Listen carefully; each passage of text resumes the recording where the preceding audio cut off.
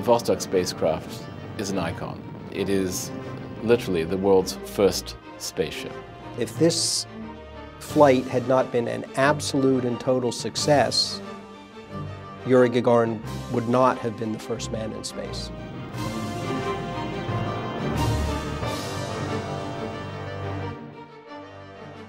The capsule we're selling is called Vostok 3KA-2. That was the official name of the mission and the official name of this spaceship. It was the last unmanned test made before Yuri Gagarin was sent into space. And it came at the very end of about a two-year period of testing to see if the Russians felt that they could put a man into space.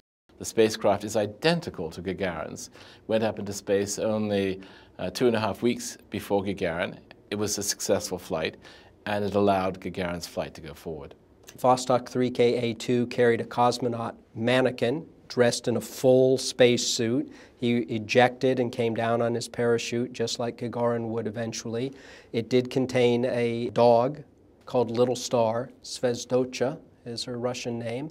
She landed fine, the capsule landed fine. When it was finally recovered, one of the engineers who was on the team described it, uh, the capsule still hot from its uh, re-entry and sort of melting the snow around it as though it looked like some great animal that had collapsed and was breathing its last. The recovery was terribly important. I mean, the whole point of this was to send it up into space, see what it could do, and then have it come back, and then really look hard at the capsule and its contents to make sure that a human being could survive this, this, this kind of, of flight. It was attached to a helicopter, taken away for, for really intensive investigation afterwards. This capsule was obtained directly from Russia in 1996 uh, by an American collector. Uh, he has had it since. It's been on view around the country. Uh, we talked about when we might sell it, and we're coming up on the 50th anniversary of Yuri Gagarin's first flight in space, and we thought now is the time to try it.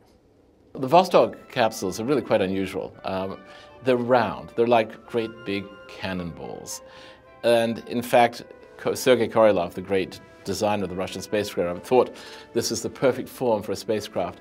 And they learned pretty quickly that in fact other forms were better. And so this is the only series of spacecraft which are perfectly round. The capsule, I suppose, is about the size of a medium-size luxury car on the interior. But it would have been crammed full of instrumentation. There would have been very, very little room. Can you imagine being essentially in a sardine can? Very very claustrophobic.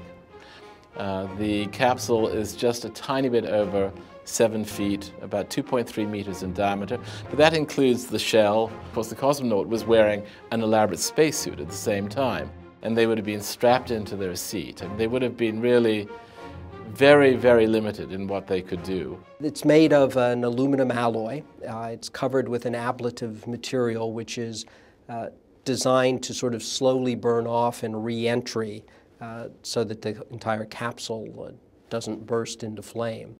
Some people looked at it and said, our spacecraft seems to have an aesthetic character to it. And in fact, one of the oddities about displaying it in our lobby downstairs with a Rodin, the Kiss nearby, is that people, first of all, look at it as a rather interesting work of art. And of course it is. I mean, the idea of this extraordinary spherical object with this wonderful patination on the outside caused by the interaction of the surface with the atmosphere is quite impressive and quite moving. Of course, then when you realize that in fact this is a spaceship. It's a whole nother dimension, and a flash of recognition comes over you, and you realize you're looking at something truly exceptional. A physical artifact can really take you back in time in a way that a written record can't. You can hold in your hand a medal and think this was pinned to George Washington's coat. Uh, and here you can look at this object and, and realize it changed the course of history. Without this, we wouldn't have had a man in space. Uh, we wouldn't have had a man on the moon this is a tangible reminder of a, a, great period in history. What an extraordinary amount of pride one would get in having this in your institution. Um, what a thing to delight and amaze adults and children. This capsule was manufactured and launched into space less than 50 years after Orville and Wilbur Wright made the first powered flight of an airplane. And that flight lasted 12 seconds and went about 40 yards. So when you think of the advances that that represents for mankind in those 50 years, uh, it's really quite remarkable. Sotheby's is all about selling the most exciting things in the world, the greatest, the best things in the world, and this is one of them. That's what it's about.